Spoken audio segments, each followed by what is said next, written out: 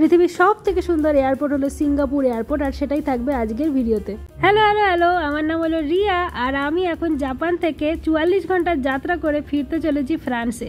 তো যে ছবিগুলো তুলেছিলাম যাত্রাপথে, সেগুলো আমি আমার মায়ের সাথে শেয়ার করছি। তো আজকে আছে অন্য মা আগের দিন ছিল আমার এক মা, আর আজকে আছে আমার শাশুড়ি মা। রাত্রিবেলা ফ্লাইট আছে, আর এখন সকালবেলা মানে সকাল নয়, সাড়ে এগারোটা, বারোটার কাছে বাজে। সাড়ে এগারোটা বাজে, বারোটায় আমার ট্রেন স্টেশনে পৌঁছে গেছি, বসে আছে।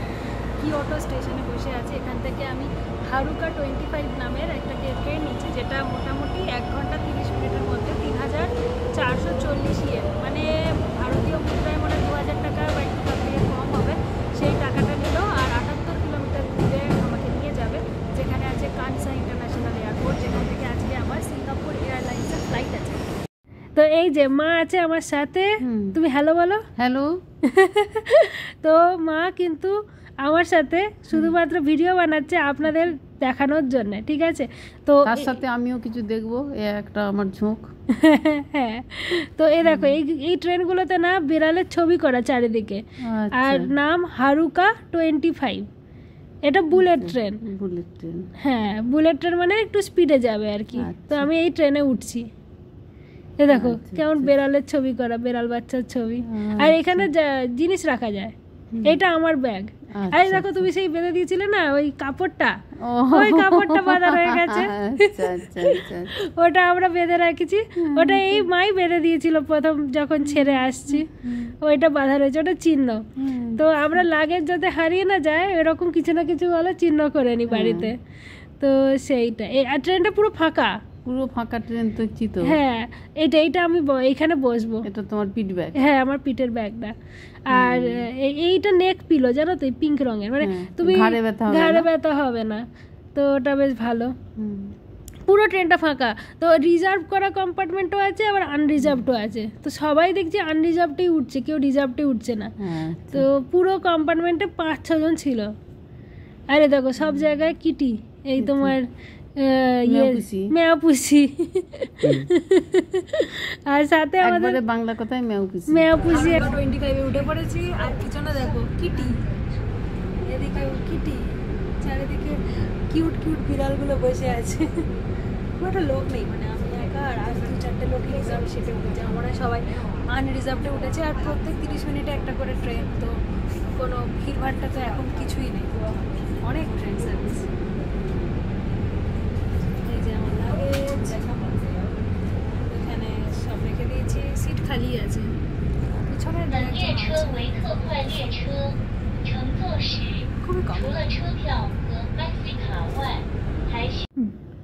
কি শুনতে পেলে জাপানিদের কোথাও আর এইগুলো যেন তো ভাত দিয়ে তৈরি এরম খাবার পাওয়া যায়। এই সবুজ এটা না তোমার সি উইড বলে মানে ওই সমুদ্র সামুদ্রিক হ্যাঁ, পাতা। তার মধ্যে এরকম ভাত দেওয়া থাকে দেখো। ভাতের স্যান্ডউইচ। হ্যাঁ ওরা সবসময় ভাত খায় স্যান্ড মানে পাউরুটি খায় না সব ভাত। এগুলো কালো আচ্ছা। ভাত কালো ভাত। আর এই যে এই কমলাটা এটা ওই সামন মাছ। আর আচ্ছা। চারদিকে ভাত। তো এইরকম যেন তো ওখানে মাছ ভাত কিনতে পাওয়া যায়। তুমি খেয়ে দেখেছ হ্যাঁ আমি কিনেছি। এই যে এইটা কিনেছি খেতে ভালো খেতে ভালো। একটু অন্যরকম এই যে এইটা কিনে এনেছি আমি। তো এই আচ্ছা। গায়ে সাইডে পাতা লাগিয়ে দিয়েছে শিয়ালগি। হ্যাঁ বলো। কতদিন রেখে খাওয়া যায় ওটা? এটা জানি না সেটা যাই না। আমি তো ওই দিনই কিনেছি ওই দিনই কি হ্যাঁ খেয়ে ওইটাই নিয়েছি। ভালো আমি ওইটাই আমার জন্য। নিয়েছিলি না এটা? হ্যাঁ তোর জন্য সিঙ্গাপুর থেকে কিনে এনেছিলাম সেভেন ইলেভেন দোকান। ওটা আমি দেখছি কলকাতাতেও সেভেন ইলেভেন করে খেতে ভালো? খেতে ভালো? এই দেখো এই দেখো ভাত দেখতে পাচ্ছ হ্যাঁ। ভিতরে? আর মাছ আছে একটু। ভাতের মতো মনে হচ্ছে পোলাও তো? হ্যাঁ পোলাও ভাতের মতো হ্যাঁ একদমই তাই ওরা আমি দেখতে। আর এই যে আমার যাত্রা শুরু হয়ে গেছে। তোমাদের ম্যাপটা দেখাই। এই দেখো এই এইটা হলো ওসাকা শহর। আর আমি এই নীল ডটটা আমি বুঝেছি নীল ডটটা? আর এই যে। কিওটো আচ্ছা। কিওটো থেকে আমি ট্রেনে করে এই যে নীল ডটটা এটা আমি যাচ্ছি ওসাকাতে। আচ্ছা। এই যে এই দেখো ট্রেন লাইন এই কালো বুঝতে পারছ? ট্রেন লাইন এইটা। সব জাপানিজেই লেখা। তো এই যে ট্রেন লাইনটা এই এইভাবে গেছে। এই যে বোঝা যাচ্ছে কিনা জানি না। এই যে এইটা কিওটো শহর।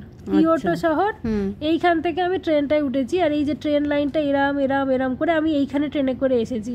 আর আমি যাব এই পুরো সোজা এই দক্ষিণ পশ্চিম দিকে ওসাকা।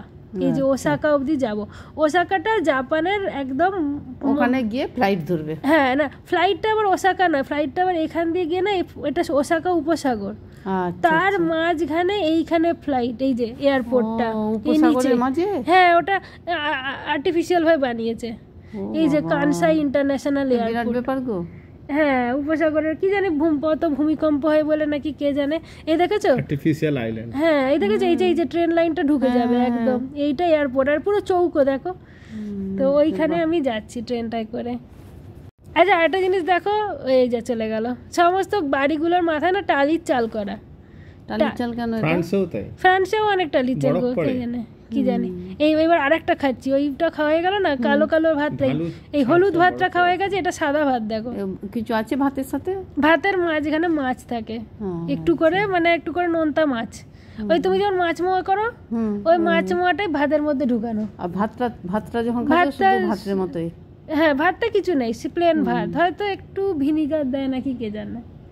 কিন্তু কিন্তু সাদা ভাত। সাদা ভাতের মতোই। আর মাঝখানে মাছটা আছে তো একসাথে মুখে পড়ছে চটাপট তোমার রেডিমেড খাওয়া হয়ে যাচ্ছে। ছোটবেলায় যেরকম ও, ভাতের ভেতরে মাছ দিয়ে আর খাই দিয়েছি তো হ্যাঁ ওই ওই রকম মাছ খাবি না? নে খা। মেখে চেকে খাই অনেকে ভেতরে মাছ কি মাংস দিয়ে? একদম। খাই দেবে। সেরকম তো মাঝে মাঝে অভিরূপ কথা বলছে এখানে। এই দেখো ব্রিজের উপর দিয়ে যাচ্ছি।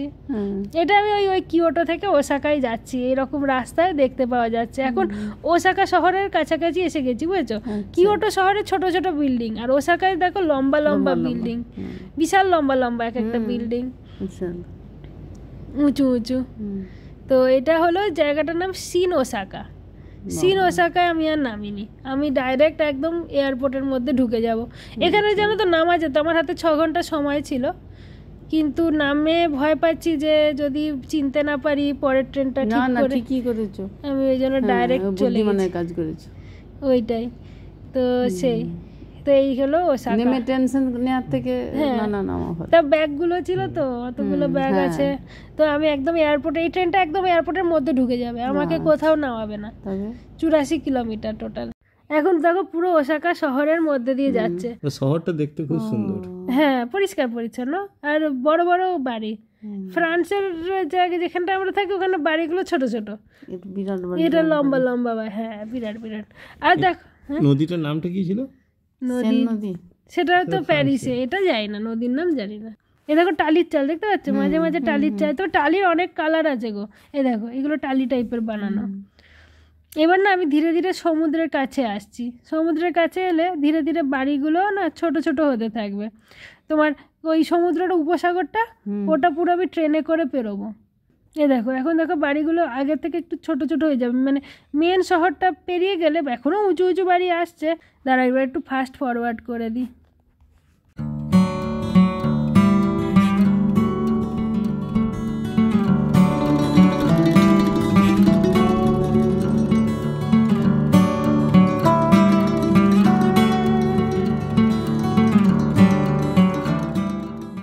এই যে আমি কানসা ইন্টারন্যাশনাল এয়ারপোর্টে পৌঁছে গেলাম। দেখো এরো প্লাজা লেখা এখানে এরো প্লাজা মানে ওই এয়ারপোর্টটা ওইদিকে যেতে হবে আমাকে। আচ্ছা। আমি আর উপসাগরটা না তুলতে পারিনি। ব্রিজের উপর দিয়ে গেলাম ট্রেনে করে কিন্তু এত ব্রিজের পিলার যে জলটা ভালো করে দেখা যাচ্ছিল না। এটা টার্মিনাল ওয়ান ঢুকে গেছি এয়ারপোর্টের মধ্যে। এই যে আচ্ছা। আমার দড়ি বাঁধা ব্যাগ এ দেখো এখানে সব ট্রেন ফ্লাইটের লিস্ট দেওয়া বুঝেছ? এবার আমার ফ্লাইট আমি এত আগে পৌঁছে গেছি এই থার্ড লাইনে এইখানে।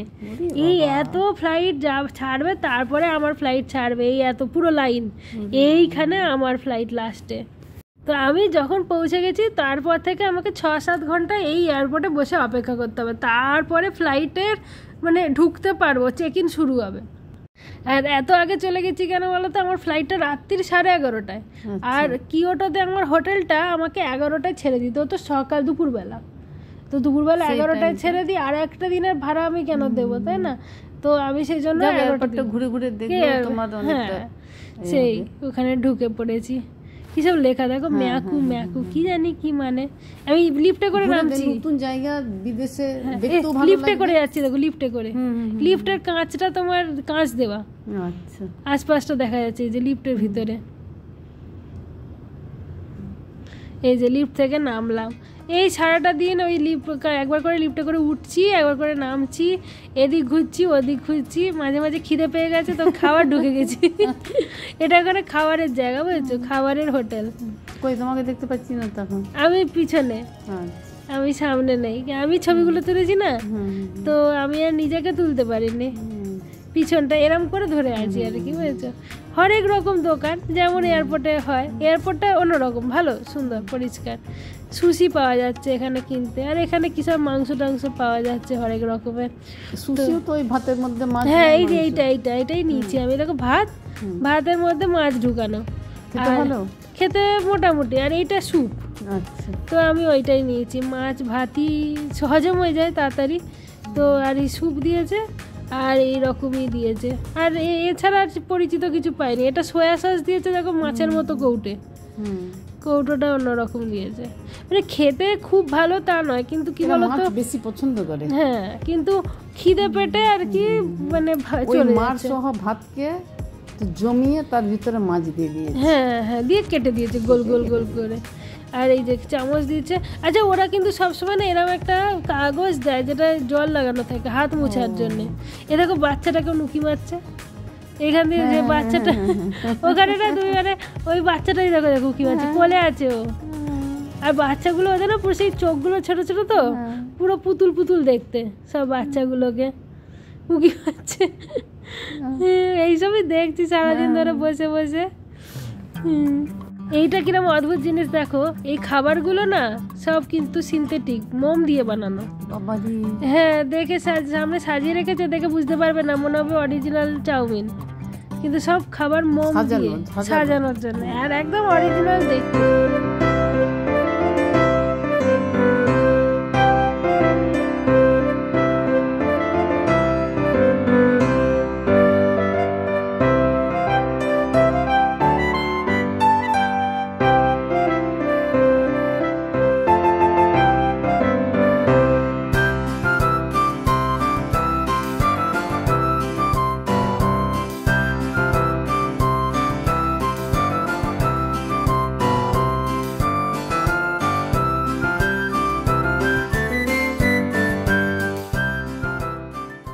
এরপরে ওসাকা থেকে রাত্রিবেলায় সাড়ে এগারোটার সময় ছেড়ে দিল সিঙ্গাপুর এয়ারলাইন্সের আমার এই ফ্লাইট, যেটা সিঙ্গাপুরে গিয়ে নামবে ছ ঘণ্টা পরে।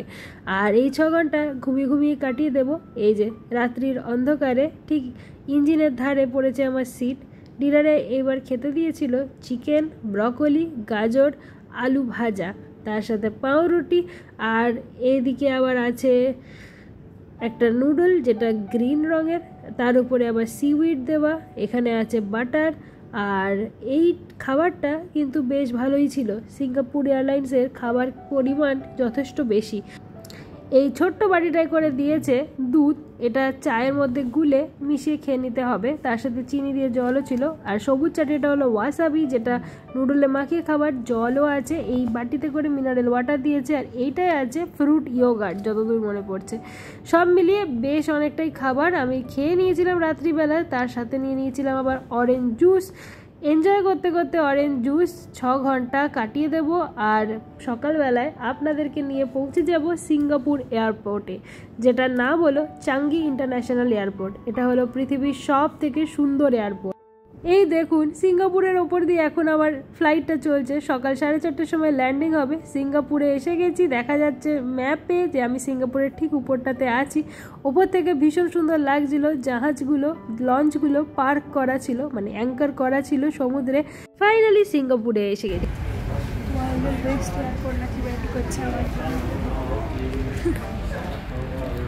এই যে, পৌঁছে গেছি সিঙ্গাপুর এয়ারপোর্টে আর বেরিয়ে এরকম একটা জায়গা দেখতে পাচ্ছি। তো এখানটা থেকে ভাবছি এ তো আর পাঁচটা এয়ারপোর্টের মতোই, এমন কিছু বড় নয়। সাড়ে চারটে বাজে, তো সেই সময় অনেক দোকানই, প্রথমে দেখছিলাম বন্ধ আছে, তারপর পাঁচটা বাজতেই এক এক করে সব দোকানগুলো খোলা শুরু হয়ে গেল। তারপরে দেখছি চারিদিকেই বড় বড় যে পারফিউমের দোকান আছে, ব্যাগের দোকান আছে, সেগুলোতে বড় বড় স্ক্রিন লাগানো। অবশ্যই ভীষণ সুন্দর করে সাজানো, কিন্তু এমন কিছু মাইন্ড ব্লোয়িং লাগছিল না। আর পাঁচটা এয়ারপোর্টের মতোই হয়তোবা একটু স্ক্রিন টিন বেশি লাগিয়ে পরিষ্কার পরিচ্ছন্ন করে রাখা। তারপরে দেখছি এইখানে একটা টেবিল, কাম, প্যাডেল করার জায়গা। মানে আপনি যদি এয়ারপোর্টে বসে থাকতে থাকতে একটু এক্সারসাইজ করে নিতে চান, সেটাও করতে পারেন। গাছপালা দিয়ে খুব সুন্দর করে সাজানো। সিঙ্গাপুর এয়ারপোর্ট কিন্তু গাছপালা ভর্তি একটা জায়গা। এখা, এইটার জন্যই হয়তোবা এয়ারপোর্টটা আরও বেশি নাম করা চারধার দেখছি, এই সমস্ত জায়গাগুলো দেখে আমার খুব একটা অদ্ভুত লাগছিল না। একই রকম ঝাঁ চকচকে, কিন্তু সেই যে ওয়াও ব্যাপারটা, সেটা খুঁজে পাচ্ছিলাম না। কিন্তু তারপরে আর কিছুটা অপেক্ষা করতেই যে সমস্ত জায়গাগুলো দেখতে পেলাম তারপরে আমিও বলতে বাধ্য হচ্ছি ভীষণ সুন্দর এয়ারপোর্ট। আর যদি আপনি কখনো সুযোগ পান, সিঙ্গাপুরে যাওয়ার অবশ্যই এয়ারপোর্টে বেশ কিছুটা সময় কাটাবেন। এই যে এটা ইমিগ্রেশনের হল। তবে আমি তো এখন সিঙ্গাপুরে ঢুকবো না, তাই আমার ইমিগ্রেশন হবে না। আমি ট্রান্সফার লাইন দিয়ে বেরিয়ে যাব। সিঙ্গাপুরের ভিসাও কিন্তু আমার নেই। আমার কাছে আছে ফ্রান্সে যাওয়ার ভিসা আর জাপান থেকে জাপানের ভিসা ছিল। তো আপনার যদি এরকম লেওভার থাকে, আপনার কিন্তু কোনো ভিসা লাগবে না। ট্রান্সফার লাইন দিয়ে আপনি ট্রান্সফার হয়ে যাবেন। এই সমস্ত দোকানগুলোয় স্ক্রিনগুলো যেহেতু সব ছবি চলছে, তাই জন্য আরও বেশি লাইভলি লাগছিল জায়গাটাকে। তারপরে আমি খুঁজতে শুরু করলাম একটা ঘুমানোর মতো জায়গা। খুঁজতে খুঁজতে একটা কোনায় গিয়ে দেখি বাচ্চাদের খেলার কিছু জায়গা আর তার সামনেই বড় বড় সোফা রাখা আছে। তো প্রথমে ভাবলাম এই সোফাটাতেই আমি শুয়ে যাব। তবে এখানে লম্বা হয়ে শোয়া যাবে না কিন্তু বসে মাথাটা হেলিয়ে দেওয়া যাবে আর পাটা এই টি টেবিলের ওপর তুলে দেব।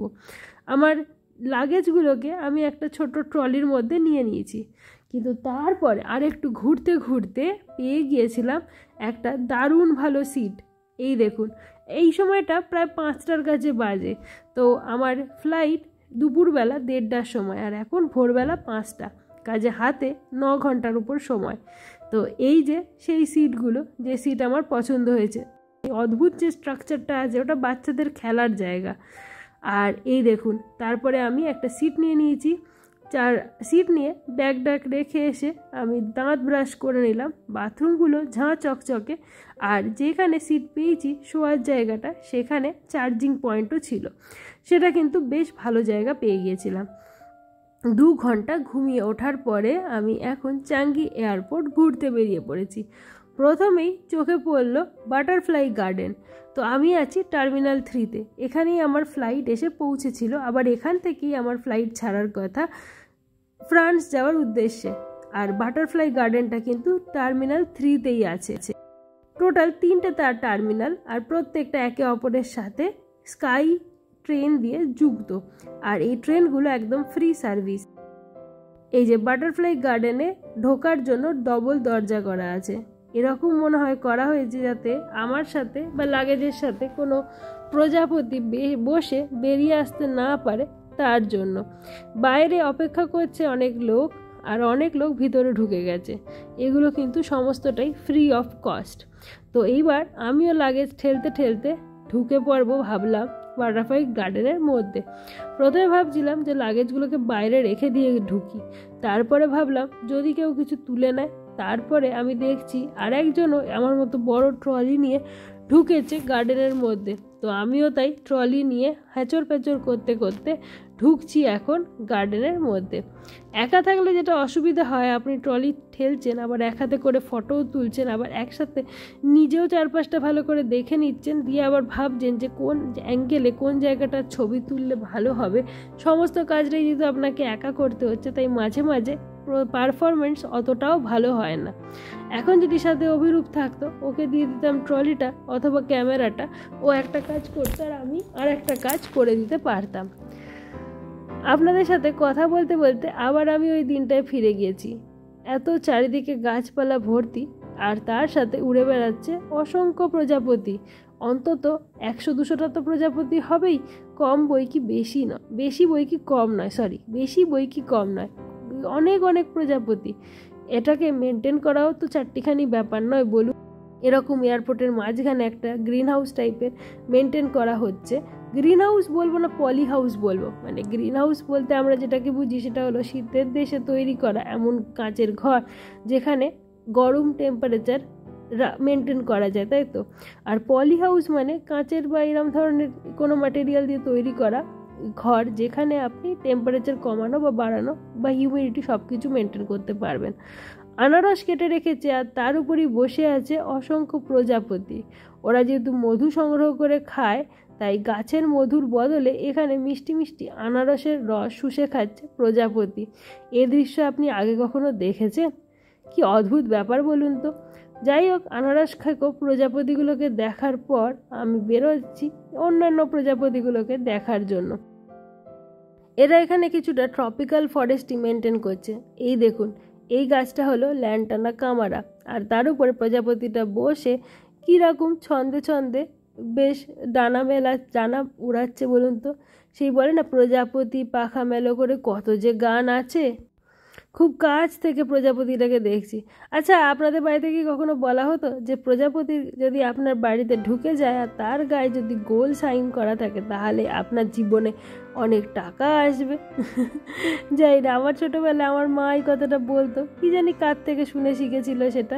তো আমরা যখনই বাড়িতে প্রজাপতি ঢুকতো আর বসে থাকতো, আমরা না নজর দিতাম যে ওর মধ্যে কোনো গোল দাগ করা আছে কি আছে না। আর যদি থাকে, তাহলে বেশ মজা হতো, যে তার মানে অনেক টাকা আসবে। মধ্যবিত্ত মানুষের এইগুলোই ড্রিম তাই না? যে কোনো কারণে হঠাৎ করে এমন কিছু হয়ে যাবে, আর আমরা বেশ অনেক টাকা এসে যাবে, আর অভাব সব ঘুচে যাবে। আর এই দেখুন, উপরতলায় দেখতে পাচ্ছেন কত প্রজাপতি, আর তার সাথে আমার ব্যাগটাও সবুজ রঙের যে ব্যাগটা, ওই কনফারেন্স থেকে পেয়েছি, সেটাও ম্যাচিং হয়ে গেছে। ওর ব্যাগটার উপরেও একটা সবুজ রঙের ব্যাগের উপরে সাদা রঙের প্রজাপতি করা আছে। এই দেখুন, রঙ্গন ফুলের উপরে বসে এই গোল গোল দাগোলা প্রজাপতির ডানা ওড়াচ্ছিল। ও কিন্তু যদি ঘরে ঢুকতো, তাহলে বলতে হবে, ঘরে তো বিশাল টাকা হবে, তাহলে সিঙ্গাপুর এয়ারপোর্টে প্রচুর টাকা আসবে। যাই হোক, এবার আমি বেরিয়ে পড়েছি, বাটারফ্লাই গার্ডেন আমার দেখা হয়ে গেছে, আর গার্ডেন থেকে বেরিয়েই চোখে পড়ল আরে, একটা লোক জলের দিকে তাকিয়ে কি যেন করছে? বাচ্চাগুলো তো জলের দিকে তাকিয়ে আছে। আর লাল লাল, ওইগুলো কি মাছ? তারপরে দেখি এ কি দৃশ্য। এরকম দৃশ্য দেখেছেন? লোকটা হাত বাড়িয়ে গা, মাছগুলোকে, এতক্ষণ গাছ দেখেছি, এবার মাছ দেখছি, সেই মাছগুলোকে না আদর করে দিচ্ছে। যেমন আবার কুকুর বিড়ালকে আদর করে দিই, কুরকুর করে দিই মাথাটাকে, আর ওরা চোখ বন্ধ করে দেয়। এখানেও মাছগুলো দেখছি আদর খাওয়ার জন্য লোকটার কাছে ভিড় করেছে। আর বুঝতে পারছি না, হয়তো বা ভাবছে একটা খাবার, কি না কি জানি কি ভাবছে।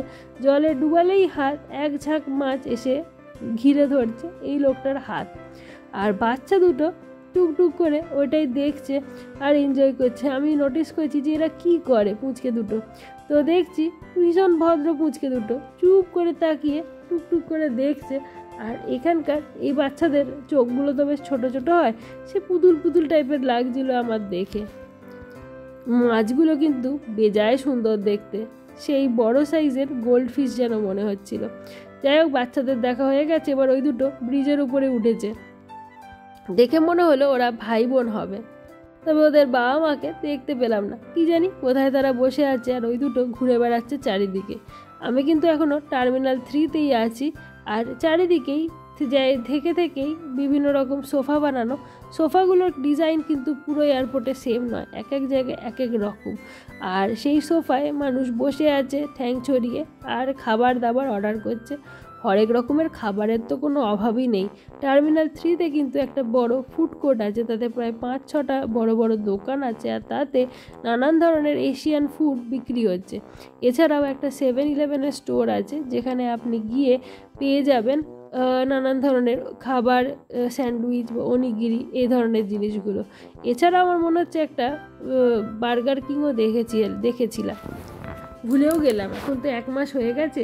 এক মাস পরে ভিডিও বানাচ্ছি, তাই কিছু কিছু জিনিস মাথা থেকে আবার বেরিয়েও গেছে। তবে টার্মিনাল থ্রিটা স্বয়ং সম্পূর্ণ, সমস্ত কিছু এর মধ্যে আছে। কিছুটা এন্টারটেনমেন্টেরও ব্যবস্থা আছে, আর তার সাথে আবার কিছুটা এই খাবার দাবার এইসবও আছে। এই হলো স্কাই ট্রেনের জায়গা। তো যেটা দেখলাম টার্মিনাল থ্রি থেকে টার্মিনাল টু যাওয়ার পথেই আপনার পড়বে বিশাল বড় আর বিশাল ফেমাস গার্ডেন যেটার নাম হলো জুয়েল আর তার মধ্যে আছে ফেমাস ওয়াটারফল সেটা কৃত্রিমভাবেই তৈরি আর অসাধারণ আর্কিটেকচারের পরিচয় বহন করেছে। টার্মিনাল থ্রি থেকে টার্মিনাল টুতে আপনাকে যেতে হবে স্কাই ট্রেনে করে, তবে আপনি এটা দেখা পাবেন। তবে আমি দেখলাম একবার ভুল করে না স্কাই ট্রেনে করে, অন্য একটা টার্মিনাল থ্রি থেকেই টার্মিনাল টু গিয়েছিলাম, কিন্তু অন্য একটা জায়গা থেকে। তো সেইখানে কিন্তু আমি দেখতে পাইনি। তো আমার যতটা মনে হচ্ছে যদি আমি ঠিক হই মানে গুলিও ফেলছি, কিন্তু আমার যতদূর মনে হলো যে টার্মিনাল থ্রিতে স্কাই ট্রেন ছাড়ে দুটো আলাদা আলাদা জায়গা আছে। তার মধ্যে একটা জায়গা যেখানে সেইখান থেকে স্কাই ট্রেনটা যখন টুতে যাচ্ছে, টার্মিনাল টুতে, তখন আপনার জুয়েল গার্ডেন পড়ছে। আর যখন আরেকটা টার্মিনাল থ্রির আরেকটা পোর্ট থেকে ছাড়ছে, আরেকটা স্টেশন থেকে ছাড়ছে তখন টার্মিনাল টুতে গেলে আপনার কিন্তু জুয়েল গার্ডেন পড়বে না। তো ওটা একটু কাউকে জিজ্ঞেস করে নেবেন। আপনার হাতে যদি কিছুটা সময় থাকে না, একেবারেই কম সময় লাগে। যদি আপনার হাতে তিন ঘন্টারও লে ওভার থাকে, তাও আমি বলব যে আপনি জুয়েল গার্ডেনটা দেখে যাবেন স্কাই ট্রেনে করে করে। মাত্র দশ মিনিটের মধ্যেই আপনার দেখা হয়ে যাবে। ট্রেন তো আছে প্রত্যেক চার পাঁচ মিনিটেই একবার করে ট্রেন আসছে। ট্রেনে উঠলে মিনিট পাঁচেকের মধ্যেই আপনি জুয়েল গার্ডেনের পাশ দিয়ে যাবেন। আর ওটা সত্যি একটা মার্ভেলাস আর্কিটেকচার ভীষণ সুন্দর ভীষণ সুন্দর। আপনি সামনে থেকে যদি গার্ডেনটা দেখতে পান, তাহলে তো খুবই ভালো হতো, কিন্তু তার জন্য আবার আপনার এন্ট্রি লাগবে এই দেশের মধ্যে। তো আমার যেহেতু সেটা নেই আমি যেহেতু ট্রানজিটের মধ্যে আছি, তাই আমি শুধুমাত্র এই স্কাই ট্রেনটার মধ্যে থেকেই জুয়েল গার্ডেনটা দেখতে পাবো। তো আমার ট্রেন ছেড়ে দিয়েছে আর আমি অলরেডি খবর নিয়ে নিয়েছিলাম যে এই ট্রেনটা যে রাস্তা দিয়ে যাবে টার্মিনাল থ্রি থেকে টার্মিনাল টু চলেছি, এর মধ্যেই আমি ওই গার্ডেনটাকে দেখতে পাবো। তো চারিদিকে তাকাচ্ছি যে কোন দিকে পড়বে, কোন ডিরেকশানে পড়বে কিছুতেই বুঝতে পারছি না। তারপরে দেখছি আরও অনেক মানুষ ব্লগ বানাচ্ছে। তো তখনই বুঝে গেলাম আচ্ছা তার মানে এই সাইডেই পড়ার কথা। তবে আমার হাতে টাইমের অভাব নেই। ঘণ্টা নয় সময় আমার সিঙ্গাপুরে। তার মধ্যে দু আড়াই ঘণ্টা আমি ঘুমিয়ে নিয়েছি। আর এক দু ঘণ্টা আমি স্পেন্ড করে কিছু খাবার খেয়ে নিয়েছি। এখনও আছে প্রচুর সময়। তাই আমি দু তিনবার করে ট্রেনে করে যাব আর আসব ঠিক করেছি আর ভালো করে আপনাদের জন্য ভিডিওটা বানাবো। তো প্রথমে যখন যাচ্ছি তখনও দুপুর এগারোটা হয়নি আর এগারোটা বাজলে তবেই আপনার এই বিশাল বড় জুয়েল ওয়াটারফল চালু হবে। এগারোটা যেহেতু বাজেনি, এখন এই যে গোল মতো সাদার জায়গাটা আকাশে ওখান থেকে জল পড়ার কথা এখন কিন্তু কিছু পড়ছে না। তাই সুন্দর পরিষ্কার আপনার চারপাশটা দেখা যাচ্ছে, পুরো আমার মনে হয় ট্রপিক্যাল ফরেস্টের মতোই এখানে বানানো হয়েছে। অনেকটা আমার দেখে আমাদের বাংলার ভেজিটেশনের মতোই লাগছিল। বাংলায় যেমন চারপাশে গাছপালা পাওয়া যায়, তাল, তমাল, নারকল এই সমস্ত সেই গাছগুলোই ভর্তি। এই যে জুয়েল গার্ডেন, বাইরে থেকে এরকম দেখতে, সেখান থেকে আমি বেরিয়ে এলাম। এই যে রাস্তাটা দেখতে পাচ্ছেন গার্ডেনের সামনে, এই যে লম্বা রাস্তাটা, এটা কিন্তু স্কাই ওয়াক তবে এটা করতে গেলে আপনার সিঙ্গাপুরে এন্ট্রি লাগবে। সেটা আমার পক্ষে করা সম্ভব না। আমি শুধুমাত্র ট্রেন থেকেই দেখতে পাবো, এইটুকুই। ছুঁয়ে দেখতে পারব না। তারপরে ট্রেন থেকে নেমে আমি মনটা খারাপই হলো যে কেন ওয়াটারফলটা চলছে না? তখনও আমি জানি না যে এগারোটার পরে ওটা চালু হয়। তো যাই হোক, আমি আবার হাঁটতে শুরু করেছি। যেহেতু টার্মিনাল টুতে পৌঁছে গেছি টার্মিনাল টুতেই হাঁটছি আর সামনে হঠাৎ করে দেখি একটা অপূর্ব সুন্দর যেন সেই পুরো একটা ছবি ডিজনিল্যান্ডের মুভির মধ্যে ঢুকে গেছি। যে অ্যানিমেশন মুভিগুলো হয় না, সেই ফুল টুল দিয়ে সুন্দর করে সাজানো ছবির মতো লাগে, সেই একটা ছবির মধ্যে যেন ঢুকে গেছি মনে হলো। তো এটা হলো টার্মিনাল টু এর অর্কিড গার্ডেন। তো আপনি যদি গাছপালা ভালোবাসেন আর আপনি যদি গাছপালার ফটোগ্রাফি করতে ভালোবাসেন বা গাছে অর্কিডের গাছ করতে ভালোবাসেন, তো এই জায়গাটা তো আপনাকে আসতেই হবে। তো আপনি যদি কোনোভাবে পারেন একটা অন্তত লেওবার সিঙ্গাপুরে জোগাড় করতে, এক জায়গা থেকে অন্য জায়গায় যাওয়ার পথে, অবশ্যই অবশ্যই ভিজিট করুন সিঙ্গাপুর চাঙ্গি এয়ারপোর্ট, অসাধারণ।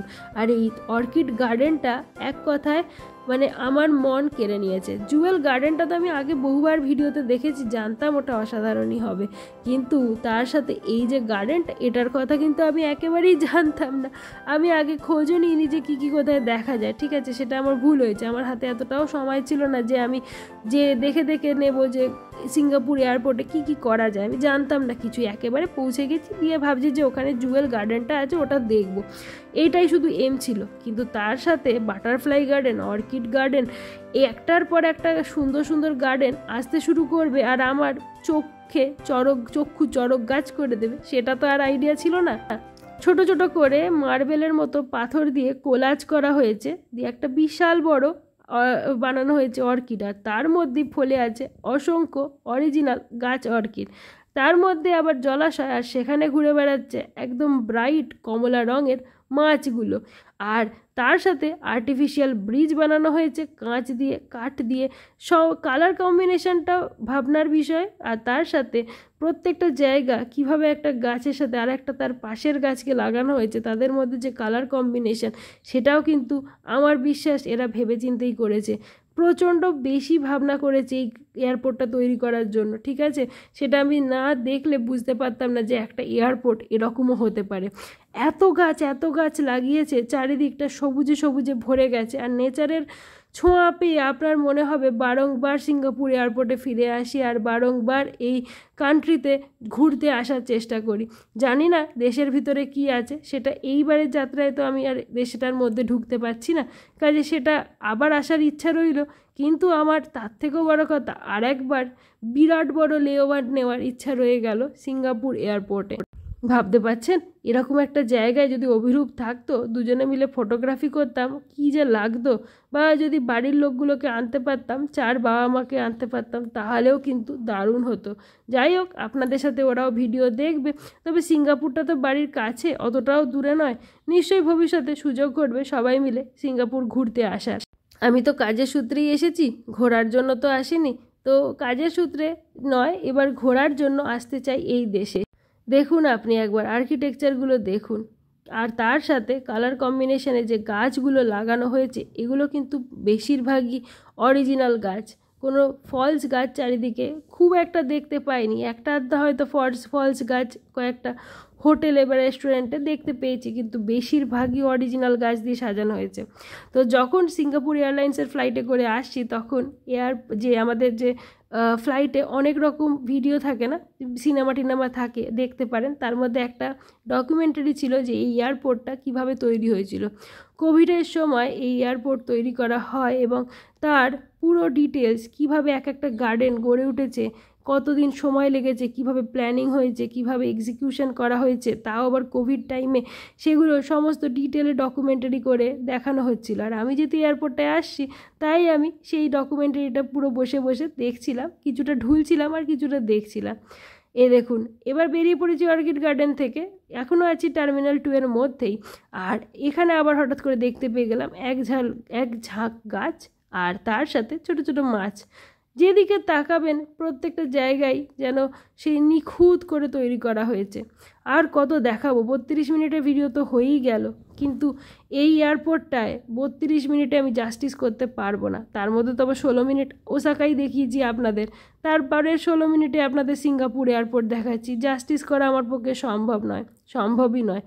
আকাশ করেছে আর্টিফিশিয়াল তার মধ্যে দেখুন, চিল উড়ে বেড়াচ্ছে, নাকি কাক উড়ে বেড়াচ্ছে। আর সেটাও আবার এয়ারপোর্টের মধ্যে। আর তার নিচে আবার আরেকটা গার্ডেন বানানো, আকাশ থেকে ঝুলন্ত গার্ডেন সেখান থেকে ঝুলন্ত উদ্যানের মতো ঝরে ঝরে পড়ছে এক গাদা গাছ। কি বানিয়েছে কি বানিয়েছে, কি তার আর্কিটেকচার কি তার ভাবনা, কি কত পয়সা খরচা করেছে, আর কীভাবে মানুষকে মানে জাস্ট ট্যুরিস্টদেরকে এক জায়গা থেকে অন্য দেশে যাওয়ার মুহূর্তে যে মাঝখানে সময়টুকু মানুষ বোর হয়ে যায়, সেই সময়টুকুকে তাদের জীবনের একটা মেমোরেবল সময় তৈরি করার প্রচেষ্টা, তাই না? জুয়েল গার্ডেনের আরও ছবি, এই এয়ারপোর্টের আরও ভিডিও আপনাদেরকে শেয়ার করব। পরের ভিডিওতে এই ভিডিওতে আর কতবার দেখাবো আপনাদের? এ, শেষ হওয়ার নয়, অনেক কিছু দেখেছি। আসল জুয়েল গার্ডেনের ওয়াটারফলটা তো আপনাদেরকে দেখানোই হলো না। সেটাও আমি পরের ভিডিওতে শেয়ার করব। তার সাথে ফিরতি পথে কি খাবার দিয়েছিল? আর এছাড়াও কিছু কিছু জাপানের ভিডিও শেয়ার করা রয়ে গেছে এখনও বাকি। আসলে এত ভিডিও তুলেছি, কোনটা শেয়ার করব আর কোনটা করব না, কখন কোনটা করব, তার মধ্যে দুর্গাপুজো, সময়ের অভাব, বাড়িতে এসেছি, বাড়ির লোকেদের সাথে সময় কাটানো, এই করতে গিয়ে ভিডিও আর টাইম করে দিয়ে উঠতে পারছি না। কিন্তু আপনাদেরকে জানাই অসংখ্য ধন্যবাদ। এটা কিন্তু চায়ের দোকান যেটা দেখাচ্ছি। তার মধ্যে চায়ের কাপগুলো বিক্রি হচ্ছিল। যাই হোক, আপনাদেরকে অসংখ্য ধন্যবাদ। নাড়ার ভিডিওটায় এত এত মানুষ দেখেছেন লাইক করেছেন কমেন্ট করেছেন। আমি তো মানে ভাবতেই পারছি না। আপনাদের যে হরিণের ভিডিও এত ভালো লাগবে। তো যারা এখনও দেখেননি, তারা একবার আমার চ্যানেলে গিয়ে নাড়া শহরের ভিডিওটা দেখতে পারেন। অনেক মানুষেরই ভালো লেগেছে। আমার বিশ্বাস আপনারও ভালো লাগবে। আর ভালো থাকুন, সুস্থ থাকুন। আশা করি সকলের পুজো খুব ভালো কেটেছে।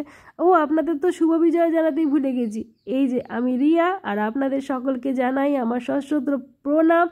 অনেক অনেক ভালোবাসা ছোটদেরকে। আর থাকুন, খুব ভালো থাকুন, খুবই ভালো থাকুন। ঠিক আছে দেখা হচ্ছে পরের ভিডিওতে এখন আমি চললাম টাটা!